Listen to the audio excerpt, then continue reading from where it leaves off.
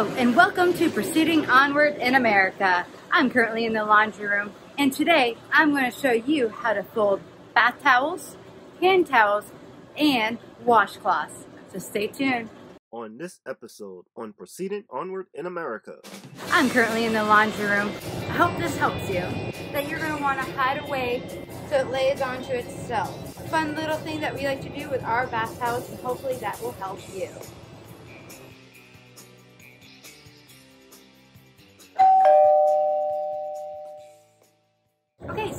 Start with a bath towel. Normal bath towel. Um, what we have here is a tag up in the corner that you're going to want to hide away so nobody else sees it during this process. So you're just going to take where that tag is, you're going to fold it into one third. It's about halfway in and then another one third this way. Nice and simple. I like to fold it all the way down to make sure that there is no wrinkles and it lines up just right. Once you're here, you just fold it right in half. And then you're going to finish it in two thirds. The part where all the flaps are, you're just going to want to fold that on down. And then you're just going to take the bottom and fold it on up. We like to fold it this way because it will fit nice into any little cabinet.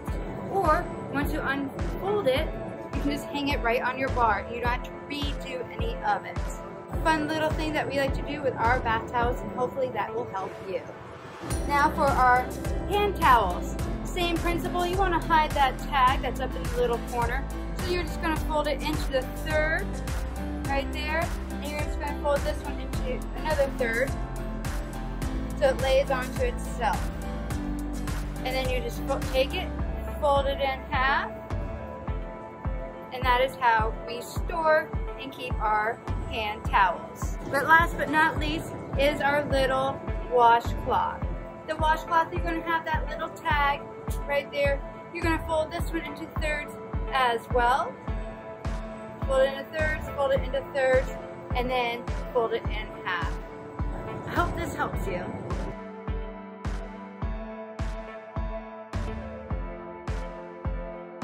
Bonus fun is our bath mats. Bath mats can be folded in several different ways depending on how they are.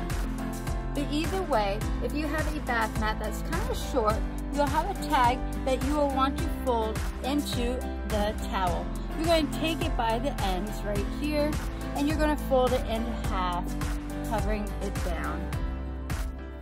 You will then proceed to take the top or the bottom half, depending on which way you're looking at it, and fold it onto itself so that way it is folded into a third.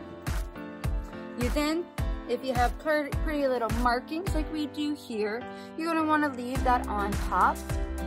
So you're to flip it on over and then you're going to fold it in half. And that is how we fold our bath mats. So I hope that helps you with folding your bath towels, hand towels, and also your washcloths. Make sure that you stay tuned for future videos. Until next time, keep following us on Facebook, Instagram, Twitter, and don't forget to become our Patreon where we can use some of that money to help us make more videos like this. And until next time, make sure that you keep proceeding onward into your dream. Bye-bye. On the next episode, no idea. Down the river. I don't know where you end up though. Let's show you around. let's not get run over by the mailman.